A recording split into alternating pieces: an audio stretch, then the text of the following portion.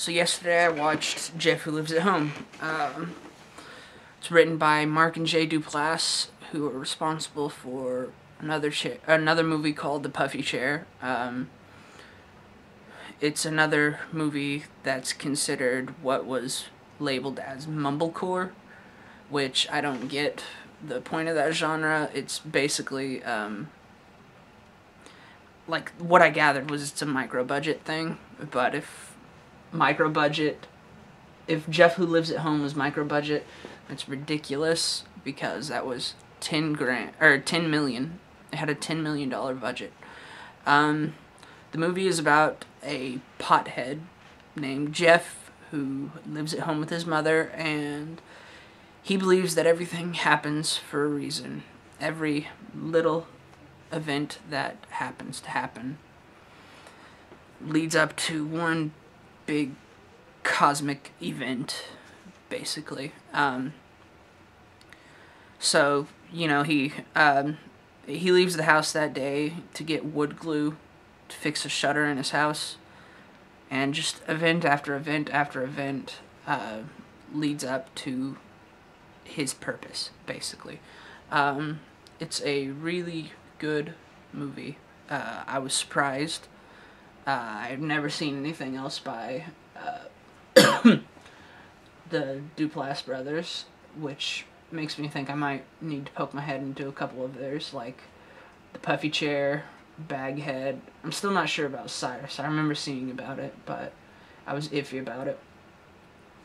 Um, it's not really much of a score to talk about for the movie. Uh, the acting, uh, Jason Segel obviously stood out just because of who he is. Um,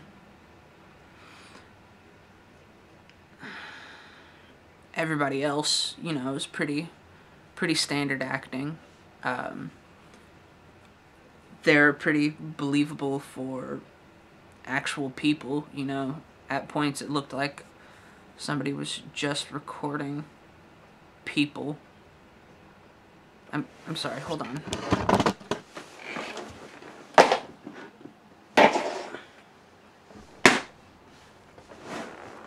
Sorry. Uh anyways, um, so yeah, um, acting, score, the storyline, um, you know, uh, kept me guessing the whole time. Like, obviously, you knew every little thing was important, so I had to wonder what things were important, and I was trying to pick and choose what what was what, you know. Um, what would lead to what, basically. Um, the movie, uh, I would say, isn't for everybody. Uh, it's definitely a good movie, but I don't think everybody would like it. Um, it's dramatic, definitely. Um, funny. Um, I would probably recommend it to um,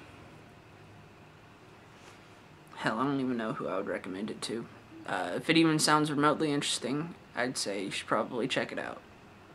Um, yeah, I mean, that's generally my opinion on movies, but all in all, it's a good movie, and I think you should probably check it out. At least look into it a bit more before you decide for sure. Alright, that's it.